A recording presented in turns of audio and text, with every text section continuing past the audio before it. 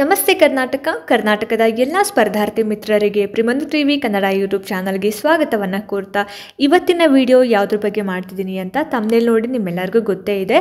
ಹೌದು M S word ಬಗ್ಗೆ ಇವತ್ತಿನ ಒಂದು ವಿಡಿಯೋದಲ್ಲಿ ತಿಳಿಸ್ಕೊಡ್ತಾ ಇದ್ದೀನಿ. ಲಾಸ್ಟ್ ವಿಡಿಯೋದಲ್ಲಿ ನಾನು ಎಂ ಎಸ್ ಪವರ್ ಪಾಯಿಂಟ್ ಬಗ್ಗೆ ನಾನು ತಿಳಿಸ್ಕೊಟ್ಟಿದ್ದೆ ಕಂಪ್ಯೂಟರ್ಗೆ ಸಂಬಂಧಪಟ್ಟ ಹಾಗೆ. ಸೊ ಇವತ್ತಿನ ವಿಡಿಯೋದಲ್ಲಿ ನಾನು ಎಂ ಎಸ್ ವರ್ಡ್ ಬಗ್ಗೆ ನಾವು ತಿಳ್ಕೊತಾ ಹೋಗೋಣ. ಟಾಪ್ ಟ್ವೆಂಟಿ ಫೈವ್ ಕ್ವೆಶನ್ಸ್ ಅಂತಲೇ ಅಂದ್ಕೊಳ್ಳಿ ಇದ್ರ ಬಗ್ಗೆ ನೆಕ್ಸ್ಟ್ ಪಾರ್ಟಲ್ಲಿ ನಾನು ಇನ್ನಷ್ಟು ಕ್ವೆಶನ್ಸ್ನ ತೊಗೊಂಡು ಬರ್ತೀನಿ. ಸೊ ಈ ವಿಡಿಯೋದಲ್ಲಿ ಇಪ್ಪತ್ತೈದು ಪ್ರಶ್ನೆಗಳನ್ನು ತಿಳಿಸ್ಕೊಡ್ತಾ ಇದ್ದೀನಿ. ಸೊ ನೋಡ್ಕೊಂಬರೋಣ ಬನ್ನಿ ಮೊದಲನೇ ಪ್ರಶ್ನೆ. ಅದಕ್ಕಿಂತ ಮುಂಚೆ ನೀವೆಲ್ಲ ಏನು ಮಾಡಬೇಕು? ಹೌದು, ಯಾರೆಲ್ಲ ಸಬ್ಸ್ಕ್ರೈಬ್ ಮಾಡದೆ ನೋಡ್ತಾ ಇದ್ದೀರಾ, ದಯವಿಟ್ಟು ಸಬ್ಸ್ಕ್ರೈಬ್ ಮಾಡ್ಕೊಂಡು ನೋಡಿ ಅಂತ ಹೇಳ್ತಾ. ಸೊ ಬನ್ನಿ ಮೊದಲನೇ ಪ್ರಶ್ನೆ ನೋಡೋಣ. ಇಲ್ಲಿ ಮೊದಲನೇ ಪ್ರಶ್ನೆ ಏನಿದೆ?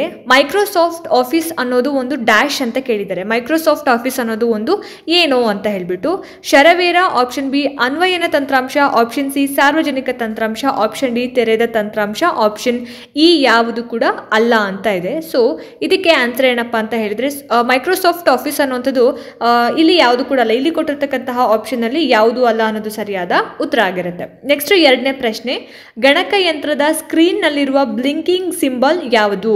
ಅಂದರೆ ನಿಮ್ಮ ಒಂದು ಲ್ಯಾಪ್ಟಾಪ್ ಅಥವಾ ಕಂಪ್ಯೂಟರ್ನ ಸ್ಕ್ರೀನ್ನಲ್ಲಿ ಒಂದು ಬ್ಲಿಂಕ್ ಆಗ್ತಿರುತ್ತಲ್ಲ ಸಿಂಬಲ್, ಅದು ಏನು? ಏನಂತ ಹೇಳಿ ಕರಿತೀವಿ ಅಂತ. Option A mouse, option B logo, option C hand, option D form, option E cursor ಅಂತ. ಸೊ, ಏನು ಅಂತ ಹೇಳಿದ್ರೆ ಇದಕ್ಕೆ ಆನ್ಸರ್ ಬಂದು ಆಪ್ಷನ್ ಇ ಕರ್ಸರ್ ಅನ್ನೋದಿಲ್ಲಿ ಸರಿಯಾದ ಉತ್ತರ ಆಗುತ್ತೆ. ಮೂರನೇ ಪ್ರಶ್ನೆ ನೋಡಿ. ವಿವಿಧ ಕಮಾಂಡ್ ಮತ್ತು ಆಯ್ಕೆಗಳನ್ನು ಹೊಂದಿರುವ ಸಾಫ್ಟ್ವೇರ್ನ ಭಾಗ ಯಾವುದು ಅಂತ ಕೇಳಿದ್ದಾರೆ. Option A title bar, option B menu bar, option C formula bar, option D tool bar, option E ಯಾವುದು ಕೂಡ ಅಲ್ಲ ಅಂತ. ಸೊ, ಬೇರೆ ಬೇರೆ ಕಮಾಂಡ್ಗಳನ್ನು ಮತ್ತು ಬೇರೆ ಬೇರೆ ಆಪ್ಷನ್ಗಳನ್ನು ಹೊಂದಿರುವಂತಹ ಸಾಫ್ಟ್ವೇರ್ನ ಪಾರ್ಟ್ ಯಾವುದು ಅಂತ ಹೇಳಿದ್ರೆ, ಆಪ್ಷನ್ ಬಿ ಮೆನು ಬಾರ್ ಅನ್ನೋದು ಸರಿಯಾದ ಉತ್ತರ ಆಗುತ್ತೆ.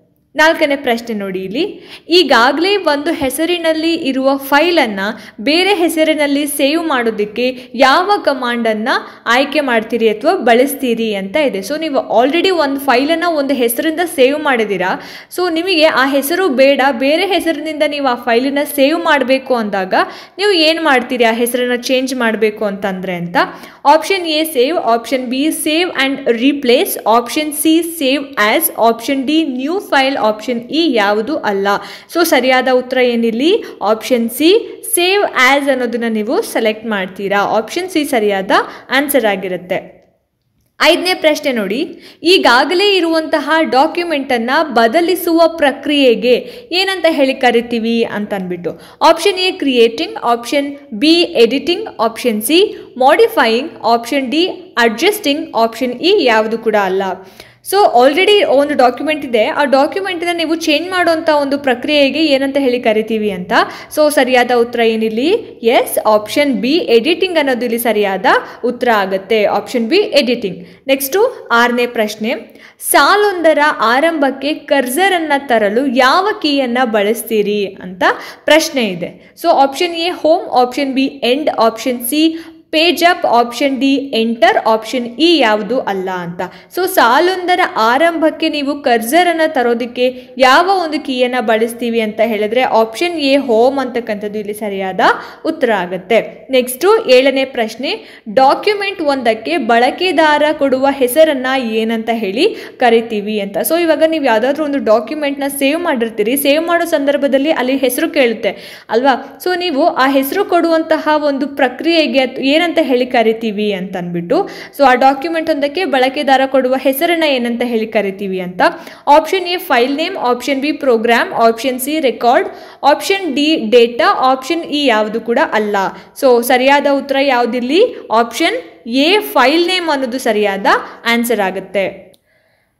ನೆಕ್ಸ್ಟ್ ಕ್ವೆಶನ್ ನೋಡಿ ಟ್ಯಾಬ್ ಕೀಯನ್ನು ಯಾವುದಕ್ಕೆ ಬಳಸ್ತಾರೆ ಅಂತ ಕೇಳಿದ್ದಾರೆ. ಸೊ ಟ್ಯಾಬ್ ಕೀ ಅಂದರೆ ಗೊತ್ತಲ್ವಾ? ಅದನ್ನು ಯಾವುದಕ್ಕೆ ನಾವು ಬಳಸ್ತೀವಿ ಅಂತ? ಆಪ್ಷನ್ ಎ ಕರ್ಸರನ್ನು ಪುಟದ ಎಡ ಹಾಗೆ ಬಲಗಳಲ್ಲಿ ಚಲಿಸೋದಕ್ಕೆ. ಆಪ್ಷನ್ ಬಿ ಪ್ಯಾರಾಗ್ರಾಫ್ಗಳಲ್ಲಿ ಇಂಡೆಂಟ್ಗಳಿಗಾಗಿ ಆಪ್ಷನ್ ಸಿ ಕರ್ಸರನ್ನು ಪುಟದ ಕೆಳಕ್ಕೆ ಚಲಿಸಲು. ಆಪ್ಷನ್ ಡಿ ಕೇವಲ ಎ ಮತ್ತು ಬಿ ಮಾತ್ರ ಆಪ್ಷನ್ ಇ ಯಾವುದು ಅಲ್ಲ ಅಂತ ಇದೆ. ಸೊ ನಾವಿಲ್ಲಿ ಟ್ಯಾಬ್ ಕೀಯನ್ನು ಏನಕ್ಕೆ ಬಳಸ್ತೀವಿ ಅಂತ ಹೇಳಿದ್ರೆ ಆಪ್ಷನ್ ಡಿ ಕೇವಲ ಎ ಮತ್ತು ಬಿ ಮಾತ್ರ ಅನ್ನೋದಿಲ್ಲಿ ಸರಿಯಾಗಿದೆ. ಕರ್ಜರನ್ನ ಪುಟದ ಎಡ ಮತ್ತು ಬಲ ಭಾಗಗಳಿಗೆ ಚಲಿಸೋದಿಕ್ಕೆ ಹಾಗೆ ಪ್ಯಾರಾಗ್ರಾಫ್ಗಳಲ್ಲಿ ಇಂಡೆಂಟ್ಗಳಿಗೋಸ್ಕರ ನಾವೇನು ಮಾಡ್ತೀವಿ? ಕರ್ಜ, ಇದು ಟ್ಯಾಬ್ ಕೀಯನ್ನು ಬಳಸುವಂಥದ್ದು. ನೆಕ್ಸ್ಟು ಒಂಬತ್ತನೇ ಪ್ರಶ್ನೆ ನೋಡಿ ಇಲ್ಲಿ. ಅಕ್ಷರ ರೂಪದ ಮಾಹಿತಿಯನ್ನ ಸೆಂಟರ್ ಅಲೈನ್ ಮಾಡೋದಿಕ್ಕೆ ಯಾವ ಶಾರ್ಟ್ಕಟ್ ಕೀಯನ್ನು ನಾವು ಬಳಸ್ತೀವಿ ಅಂತ. Option A control plus C option B control plus E option C control plus L option D control plus R option E ಯಾವುದು ಅಲ್ಲ. ಸೊ ನಾವು ಯಾವುದನ್ನು ಬಳಸ್ತೀವಿ shortcut key sent center align ಮಾಡೋದಕ್ಕೆ ಅಕ್ಷರ ರೂಪದ ಮಾಹಿತಿಯನ್ನು ಅಂತ ಹೇಳಿದ್ರೆ yes option B control plus E ಅನ್ನೋದು ಇಲ್ಲಿ ಸರಿಯಾದ ಉತ್ತರ ಆಗುತ್ತೆ. ಹತ್ತನೇ ಪ್ರಶ್ನೆ ನೋಡಿ ಇಲ್ಲಿ. ಡಾಕ್ಯುಮೆಂಟ್ ಒಂದನ್ನು ಪ್ರಿಂಟ್ ಮಾಡೋದಕ್ಕೆ ಯಾವ ಶಾರ್ಟ್ಕಟ್ ಕೀಯನ್ನು ಬಳಸ್ತೀವಿ ಅಂತ. ಸೊ ನಾನು ಇದನ್ನು already M S PowerPoint ಮಾಡಬೇಕಾದ್ರೆ ಹೇಳಿದ್ದೆ. ನಾವು ಯಾವುದೇ ಒಂದು ಡಾಕ್ಯುಮೆಂಟ್ ಆಗಲಿ, ಏನೇ ಒಂದು ಮಾಹಿತಿಯನ್ನು ನಾವು ಇನ್ಫಾರ್ಮೇಷನ್ನ ಕಾಪಿ ಮಾಡಬೇಕು ಅಂತಂದಾಗ ಸಾರಿ ಪ್ರಿಂಟ್ ಮಾಡಬೇಕು ಅಂತಂದಾಗ ಯಾವಾಗ ಶಾರ್ಟ್ಕಟ್ ಕೀಯನ್ನು ಬಳಸ್ತೀವಿ ಅಂತ. ಸೊ ಓಕೆ ಆಪ್ಷನ್ಸ್ ನೋಡಿ ಇಲ್ಲಿ. Option A shift plus P option B control plus P option C alt plus P option D escape plus P option E ಯಾವುದು ಕೂಡ ಅಲ್ಲ. ಸೊ ಯಾವುದನ್ನು ಬಳಸ್ತೀವಿ? ಹಾಗಾದರೆ ನಾವು ಪ್ರಿಂಟ್ ಮಾಡೋದಕ್ಕೆ ಶಾರ್ಟ್ಕಟ್ ಕೀಯನ್ನು ಎಸ್ ಕಂಟ್ರೋಲ್ ಪ್ಲಸ್ ಪಿ ಅನ್ನೋದನ್ನು ನಾವು ಏನು ಮಾಡ್ತೀವಿ? ಶಾರ್ಟ್ಕಟ್ ಕೀಯಾಗಿ ಬಳಸ್ತೀವಿ ಪ್ರಿಂಟ್ ಮಾಡೋದಕ್ಕೋಸ್ಕರ. ನೆಕ್ಸ್ಟು ಹನ್ನೊಂದನೇ ಪ್ರಶ್ನೆ ನೋಡಿ ಇಲ್ಲಿ. ಎಂ ಎಸ್ ಆಫೀಸ್ನಲ್ಲಿ ಲಭ್ಯವಿರುವ ಕನಿಷ್ಠ ಮತ್ತು ಗರಿಷ್ಠ ಝೂಮ್ನ ಅಳತೆ ಎಷ್ಟು ಅಂತ ಕೇಳಿದ್ದಾರೆ ಅಲ್ವಾ? ಸೊ ಆಪ್ಷನ್ ಎ ಹತ್ತು, ನೂರು ಆಪ್ಷನ್ ಬಿ ಇಪ್ಪತ್ತು, ಇನ್ನೂರೈವತ್ತು ಆಪ್ಷನ್ ಸಿ ಹತ್ತು, ಐನೂರು. ಆಪ್ಷನ್ ಡಿ ಹತ್ತು ಸಾವಿರ. ಆಪ್ಷನ್ ಇ ಯಾವುದು ಅಲ್ಲ ಅಂತ ಇದೆ. ಸೊ ಇಲ್ಲಿ ಎಂ ಎಸ್ ಆಫೀಸ್ನಲ್ಲಿ ಎಷ್ಟು ಕನಿಷ್ಠ ಮತ್ತು ಗರಿಷ್ಠ ಝೂಮ್ನ ಮೆಜರ್ಮೆಂಟ್ ಇದೆ ಅಂತ ಹೇಳಿದ್ರೆ ಆಪ್ಷನ್ ಸಿ ಹತ್ತು ಮತ್ತು ಐನೂರು ಅಂತಕ್ಕಂಥದ್ದು ಇಲ್ಲಿ ಸರಿಯಾದ ಉತ್ತರ ಆಗುತ್ತೆ. ನೆಕ್ಸ್ಟು ಹನ್ನೆರಡನೇ ಪ್ರಶ್ನೆ. ಪ್ರತಿ ಪುಟದ ಕೊನೆಯಲ್ಲಿ ಪ್ರಿಂಟ್ ಆಗಬೇಕಾದ ಮಾಹಿತಿ ಯಾವುದು? ಪ್ರತಿಯೊಂದು ಪೇಜ್ನ ಕೊನೆಯಲ್ಲಿ ಯಾವ ಒಂದು ಇನ್ಫಾರ್ಮೇಷನ್ನ ನಾವು ಮಸ್ಟ್ ಆ್ಯಂಡ್ ಶುಡ್ ಪ್ರಿಂಟ್ ಮಾಡಬೇಕು ಅಂತ.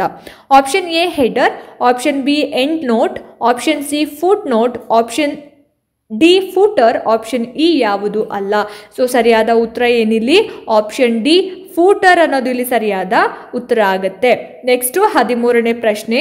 ಕರ್ಸರನ್ನು ಬಲಬದಿಯಲ್ಲಿರುವ ತಪ್ಪು ಅಕ್ಷರ ಅಕ್ಷರವೊಂದನ್ನು ಎರೇಸ್ ಮಾಡೋದಕ್ಕೆ ಯಾವ ಕೀಯನ್ನು ನಾವು ಬಳಸಬೇಕು? ಕರ್ಸರ್ನ ಬಲಬದಿಯಲ್ಲಿ ಇರುವಂತಹ ಒಂದು ಅಕ್ಷರ ತಪ್ಪಾಗಿದ್ದರೆ ಅದನ್ನು ನಾವು ಎರೇಸ್ ಮಾಡೋಕ್ಕೆ ಯಾವ ಕೀಯನ್ನು ಬಳಸ್ತೀವಿ ಅಂತ ಆಪ್ಷನ್ ಎ ಮೌಸ್ನ ಎಡ ಬಟನ್ ಆಪ್ಷನ್ ಬಿ ಮೌಸ್ನ ಬಲ button option C backspace option D delete option E ಯಾವುದು ಅಲ್ಲ ಸೊ ಯಾವುದು ಇದಕ್ಕೆ ಆನ್ಸರ್ ಇಲ್ಲಿ ಯಾವ ಕೀಯನ್ನು ಬಳಸ್ತೀವಿ ನಾವು ಆಪ್ಷನ್ ಡಿ ಡಿಲೀಟ್ ಅನ್ನೋದು ಇಲ್ಲಿ ಸರಿಯಾದ ಉತ್ತರ ಆಗುತ್ತೆ ನಾವು ಡಿಲೀಟ್ ಕೀಯನ್ನು ಬಳಸ್ತೀವಿ ಸೊ ನೆಕ್ಸ್ಟ್ ಹದಿನಾಲ್ಕನೇ ಪ್ರಶ್ನೆ ಈಗಾಗಲೇ ಸೇವ್ ಆಗಿರುವ ಡಾಕ್ಯುಮೆಂಟ್ಗೆ ನಾವು ಏನಂತ ಕರಿತೀವಿ ಅಂತ option A file, option B folder, option C word, option D project, option E ಯಾವುದು ಅಲ್ಲ ಅಂತ ಇದೆ. ಸೊ ಏನು ಸರಿಯಾದ ಉತ್ತರ ಇದಕ್ಕೆ? ಆಪ್ಷನ್ ಎ ಫೈಲ್ ಅಂತ ಹೇಳಿ ಕರಿತೀವಿ. ಆಲ್ರೆಡಿ ಸೇವ್ ಆಗಿರುವಂಥ ಒಂದು ಡಾಕ್ಯುಮೆಂಟ್ಗೆ ನಾವು ಫೈಲ್ ಅಂತ ಹೇಳಿ ಕರಿತೀವಿ. ಹದಿನೈದನೇ ಪ್ರಶ್ನೆ ನೋಡಿ. ಇತ್ತೀಚಿನ ಕ್ರಿಯೆ ಅಥವಾ ಕಮಾಂಡ್ಗಳನ್ನು ಕ್ಯಾನ್ಸಲ್ ಮಾಡೋದಕ್ಕೆ ನಾವು ಯಾವ ಆಪ್ಷನನ್ನು ಅಥವಾ ಬಟನನ್ನು ಬಳಸ್ತೀವಿ ಅಂತ ಅಂದ್ಬಿಟ್ಟು, option A search, option B cut, option C document, option C undo, option D undo, option E ಯಾವುದು ಅಲ್ಲ. ಸೊ, ಯಾವುದು, ಯಾವ ಬಟನನ್ನು ಪ್ರೆಸ್ ಮಾಡ್ತೀವಿ ನಾವು ಬಳಸ್ತೀವಿ ಅಂತ ಹೇಳಿದ್ರೆ ಆಪ್ಷನ್ ಡಿ ಅಂಡು ಅಂತಕ್ಕಂಥ ಬಟನನ್ನು ನಾವು ಬಳಸ್ತೀವಿ. ಹದಿನಾರನೇ ಪ್ರಶ್ನೆ ಎಂ ಎಸ್ ಆಫೀಸ್ ಅಂದರೆ ಏನು ಅಂತ ಕೇಳಿದ್ದಾರೆ ಆಪ್ಷನ್ ಎ ಬೆಂಗಳೂರಿನ ಮಲ್ಟಿ ಸ್ಟೋರಿಡ್ ಬಿಲ್ಡಿಂಗ್ನಲ್ಲಿರುವಂಥ ಕಚೇರಿಗಳು ಆಪ್ಷನ್ ಬಿ ಮೈಕ್ರೋಸಾಫ್ಟ್ನ ಒಂದು ಕಂಪ್ಯೂಟರ್ನ ತಂತ್ರಾಂಶ ಆಪ್ಷನ್ ಸಿ ಅಂಚೆ ಇಲಾಖೆಯ mail service option D ministry of state ಇವರ ಕಚೇರಿ. ಏನು ಎಂ ಎಸ್ ಆಫೀಸ್ ಅಂತ ಹೇಳಿದ್ರೆ ಆಪ್ಷನ್ ಬಿ, ಮೈಕ್ರೋಸಾಫ್ಟ್ನ ಒಂದು ಕಂಪ್ಯೂಟರ್ ತಂತ್ರಾಂಶ ಅನ್ನೋದು ಸರಿಯಾದ ಉತ್ತರ ಎಂ ಎಸ್ ಆಫೀಸ್ ಅಂತ ಅಂದರೆ ನೆಕ್ಸ್ಟು ಹದಿನೇಳನೇ ಪ್ರಶ್ನೆ ನೋಡಿ.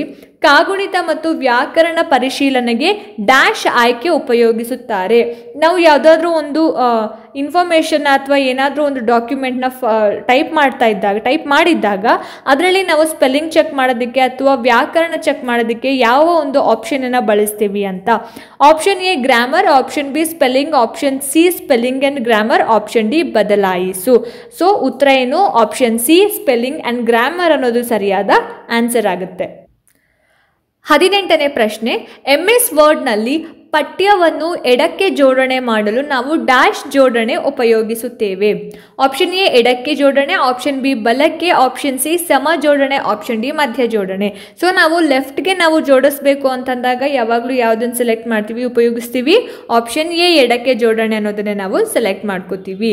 ಸೊ ನೆಕ್ಸ್ಟ್ ಹತ್ತೊಂಬತ್ತನೇ ಪ್ರಶ್ನೆ, ಹೊಸದಾಗಿ ತಯಾರಿಸಿದ ದಸ್ತಾವೇಜಿಗೆ ಎಂ ಎಸ್ ವರ್ಡ್ ತಾತ್ಕಾಲಿಕವಾಗಿ ಡ್ಯಾಶ್ ಹೆಸರನ್ನು ಕೊಡುತ್ತೆ. Option A document one, option B worksheet one, option C graphic one, option D picture one. So ಏನಿದಕ್ಕೆ answer ಹಾಗಾದರೆ ಆಪ್ಷನ್ ಎ ಡಾಕ್ಯುಮೆಂಟ್ ಒನ್ ಅನ್ನೋದು ಇಲ್ಲಿ ಸರಿಯಾದ ಆನ್ಸರ್ ಆಗುತ್ತೆ. ಮುಂದಿನ ಪ್ರಶ್ನೆ, ಇಪ್ಪತ್ತನೇ ಪ್ರಶ್ನೆ. ಎಂ ಎಸ್ ವರ್ಡ್ನಲ್ಲಿ ಚೇಂಜ್ ಕೇಸ್ ಕಾರ್ಯಸೂಚಿಯು ಡ್ಯಾಶ್ ಆಯ್ಕೆಗಳನ್ನು ಹೊಂದಿರುತ್ತದೆ. Option A sentence case option B title case option C upper case option D ಮೇಲಿನ ಎಲ್ಲವೂ. ಏನಿದಕ್ಕೆ ಆನ್ಸರ್ ಹಾಗಾದರೆ? ಆಪ್ಷನ್ ಡಿ ಏನಿದೆ? ಮೇಲಿನ ಎಲ್ಲವೂ ಅನ್ನೋದಿಲ್ಲಿ ಸರಿಯಾದ ಆನ್ಸರ್ ಆಗುತ್ತೆ. ನೆಕ್ಸ್ಟ್ ಕ್ವೆಶನ್ ನೋಡಿಲಿ ಇಪ್ಪತ್ತೊಂದನೇ ಪ್ರಶ್ನೆ. ಸಮ ಜೋಡಣೆ ಅಂದರೆ ಏನು ಅಂತ ಕೇಳಿದ್ದಾರೆ. ಏನು ಸಮ ಜೋಡಣೆ ಅಂತ ಹೇಳಿದ್ರೆ ಆಪ್ಷನ್ ಎ, ಪಠ್ಯವನ್ನು ಬಲಕ್ಕೆ ಜೋಡಣೆ ಮಾಡೋದು. ಆಪ್ಷನ್ ಬಿ, ಪಠ್ಯವನ್ನು ಎಡಕ್ಕೆ ಜೋಡಣೆ ಮಾಡೋದು. ಆಪ್ಷನ್ ಸಿ, ಪಠ್ಯವನ್ನು ಎಡಕ್ಕೆ ಮತ್ತು ಬಲಕ್ಕೆ ಜೋಡಣೆ ಮಾಡೋದು. ಆಪ್ಷನ್ ಡಿ, ಯಾವುದು ಕೂಡ ಅಲ್ಲ ಅಂತ ಇದೆ. ಸೊ ಏನಿದೆ ಕ್ಯಾನ್ಸರ್ ಹಾಗಾದರೆ ಆಪ್ಷನ್ ಸಿ ಏನಿದೆ, ಪಠ್ಯವನ್ನು ಎಡಕ್ಕೆ ಮತ್ತು ಬಲಕ್ಕೆ ಜೋಡಣೆ ಮಾಡೋದು ಅನ್ನೋದು ಸರಿಯಾದ ಉತ್ತರ ಆಗುತ್ತೆ. ಇಪ್ಪತ್ತೆರಡನೇ ಪ್ರಶ್ನೆ ನೋಡಿ. ಎಂ ಎಸ್ ವರ್ಡ್ನಲ್ಲಿ ಒಟ್ಟು ಎಷ್ಟು ಜೋಡಣೆಗಳಿರುತ್ತವೆ ಅಂತ ಕೇಳಿದ್ದಾರೆ. ಆಪ್ಷನ್ ಎ ಒಂದು ಆಪ್ಷನ್ ಬಿ ಎರಡು ಆಪ್ಷನ್ ಸಿ ಮೂರು ಆಪ್ಷನ್ ಡಿ ನಾಲ್ಕು. ಎಷ್ಟಿರುತ್ತೆ? ಆಪ್ಷನ್ ಡಿ ನಾಲ್ಕು ಜೋಡಣೆಗಳು ಇರೋ ಅಂಥದ್ದು. ಇಪ್ಪತ್ತ್ಮೂರನೇ ಪ್ರಶ್ನೆ ನೋಡಿ. ಅಕ್ಷರಗಳನ್ನು ದಪ್ಪವಾಗಿ ಮಾಡಲು ಡ್ಯಾಶ್ ಆಯ್ಕೆಯನ್ನು ಉಪಯೋಗಿಸುತ್ತೀವಿ, ಉಪಯೋಗಿಸುತ್ತಾರೆ ಅಂತ. Option A, font bold option option B, font underline option option C, font italic option option D, font bold italic option. So, ನಾವು ಯಾವುದೇ ಒಂದು ಅಕ್ಷರವನ್ನು ಅಥವಾ ಪದವನ್ನು ಲೆಟರ್ಸನ್ನು ನಾವು ಬೋಲ್ಡ್, ದಪ್ಪವಾಗಿ ಕಾಣಬೇಕು ಅಂತ ಅಂದ್ಕೊಂಡು ಯಾವ ಆಯ್ಕೆಯನ್ನು ನಾವು ಉಪಯೋಗಿಸ್ತೀವಿ ಅಂತ ಹೇಳಿದ್ರೆ ಯಾವುದನ್ನು ಬಳಸ್ತೀವಿ? Option A, font bold option ಅನ್ನೋದನ್ನ ನಾವು ಸೆಲೆಕ್ಟ್ ಮಾಡ್ತೀವಿ. ಫಾಂಟ್ ಬೋಲ್ಡ್ ಆಪ್ಷನ್ ಅನ್ನೋದು ಸರಿಯಾದ ಉತ್ತರ ಆಗಿರುತ್ತೆ. ನೆಕ್ಸ್ಟ್ ಇಪ್ಪತ್ನಾಲ್ಕನೇ ಪ್ರಶ್ನೆ ಎಂ ಎಸ್ ವರ್ಡ್ನಲ್ಲಿ ಈ ಕೆಳಗಿನ ಯಾವುದನ್ನು ಸೇರಿಸಬಹುದು ಅಂತ ಇದೆ. ಪಿಕ್ಚರ್ ಗ್ರಾಫ್ ಟೇಬಲ್ ಮೇಲಿನ ಎಲ್ಲವು. ಸೊ ನಾನು ಲಾಸ್ಟ್ ವಿಡಿಯೋದಲ್ಲಿ ಹೇಳಿದೆ ಎಂ ಎಸ್ ಪವರ್ ಪಾಯಿಂಟ್ನಲ್ಲಿ ನಾವು ಪಿಕ್ಚರ್ನ ಆ್ಯಡ್ ಮಾಡ್ಬೋದು ಆಡಿಯೋ ವಿಡಿಯೋ ಗ್ರಾಫ್ ಟೇಬಲ್ ಎಲ್ಲವನ್ನ ಆ್ಯಡ್ ಮಾಡ್ಬೋದು ಅಂತ. ಸೊ ಹಾಗಾದರೆ ಎಂ ಎಸ್ ವರ್ಡ್ನಲ್ಲೂ ಕೂಡ ನಾವು ಇದನ್ನು ಆ್ಯಡ್ ಮಾಡ್ಬೋದಾ? ಯಾವ್ದು ಮಾಡ್ಬೋದು? ಪಿಕ್ಚರ್ ಗ್ರಾಫ್ ಟೇಬಲ್ ಮೇಲಿನ ಎಲ್ಲವು. ಎಸ್ ಎಂ ಎಸ್ ವರ್ಡ್ನಲ್ಲಿ ಕೂಡ ನಾವು ಪಿಕ್ಚರ್ಸನ್ನು ಆ್ಯಡ್ ಮಾಡ್ಬೋದು ಗ್ರಾಫನ್ನು ಆ್ಯಡ್ ಮಾಡ್ಬೋದು ಟೇಬಲನ್ನು ಕೂಡ ಆ್ಯಡ್ ಮಾಡ್ಬೋದು. ಸೊ ಹಾಗಾಗಿ ಆಪ್ಷನ್ ಡಿ ಸರಿಯಾದ ಉತ್ತರ ಆಗುತ್ತೆ ಇಲ್ಲಿ. ಇಪ್ಪತ್ತೈದನೇ ಪ್ರಶ್ನೆ ಹಾಗೆ ಕೊನೆಯ ಪ್ರಶ್ನೆ, ಮುಂದಿನ ಪದಕ್ಕೆ ಚಲಿಸಲು ಯಾವ ಕೀಲಿಯನ್ನು ಒತ್ತಬೇಕು ಅಥವಾ ಮುಂದಿನ ಪುಟಕ್ಕೆ ನಾವು ಹೋಗಬೇಕು ಅಂತಂದರೆ ಯಾವ ಕೀಯನ್ನು ನಾವು ಪ್ರೆಸ್ ಮಾಡಬೇಕಾಗತ್ತೆ? ನೋಡಿ ಇಲ್ಲಿ options option A control plus ಬಲಬಾಣ ಸೂಚಿ ಆಪ್ಷನ್ ಬಿ ಕಂಟ್ರೋಲ್ ಪ್ಲಸ್ ಎಡ ಬಾಣಸೂಚಿ ಆಪ್ಷನ್ ಸಿ ಕಂಟ್ರೋಲ್ ಪ್ಲಸ್ ಕೊನೆ ಆಪ್ಷನ್ ಡಿ ಕಂಟ್ರೋಲ್ ಪ್ಲಸ್ ಸ್ವಸ್ಥಾನಕ್ಕೆ ಅಂತ ಇದೆ ಯಾವುದಿದಕ್ಕೆ ಆನ್ಸರ್ ಹಾಗಾದ್ರೆ? Yes option A control plus ಬಲ ಬಾಣಸೂಚಿ ಅನ್ನೋದು ಸರಿಯಾದ ಆನ್ಸರ್ ಆಗಿರುತ್ತೆ. ಸೊ ನೋಡಿದ್ರಲ್ಲ ಸ್ನೇಹಿತರೆ ಎಂ ಎಸ್ ವರ್ಡ್ ಬಗ್ಗೆ ಇಪ್ಪತ್ತೈದು ಪ್ರಶ್ನೆಗಳನ್ನು ನೀವು ತಿಳ್ಕೊಂಡ್ರಿ, ಪ್ರಶ್ನೋತ್ತರಗಳನ್ನು. ಸೊ ಈ ವಿಡಿಯೋ ನಿಮಗೆ ಅನುಕೂಲ ಆಯಿತು ಅಂತ ನನ್ನ ಒಂದು ಭಾವನೆ. ನಿಮ್ಗೆ ಇಷ್ಟ ಆಯಿತು ಅಂತಂದರೆ ದಯವಿಟ್ಟು ಲೈಕ್ ಮಾಡಿ, ಶೇರ್ ಮಾಡಿ. ಹಾಗೆ ನಿಮ್ಮ ಅನಿಸಿಕೆ, ಅಭಿಪ್ರಾಯಗಳೇನೇ ಇದ್ರೂ ಕೂಡ ನನಗೆ ಕಾಮೆಂಟ್ ಸೆಕ್ಷನಲ್ಲಿ ತಿಳಿಸಿ ಅಂತ ಹೇಳ್ತಾ, ಇದೇ ರೀತಿ ಹೆಚ್ಚಿನ ವೀಡಿಯೋಸ್ಗಳಿಗೋಸ್ಕರ ನಿರಂತರವಾಗಿ ನನ್ನ ಚಾನಲ್ನ ನೋಡ್ತಾ ಇರಿ. ಮುಂದಿನ ವೀಡಿಯೋಸ್ಗಳಲ್ಲಿ ನಾನು ನಿಮಗೆ ಸಿಗ್ತೀನಿ ಅಲ್ಲಿ ತನಕ ಎಲ್ರಿಗೂ ನಮಸ್ಕಾರ.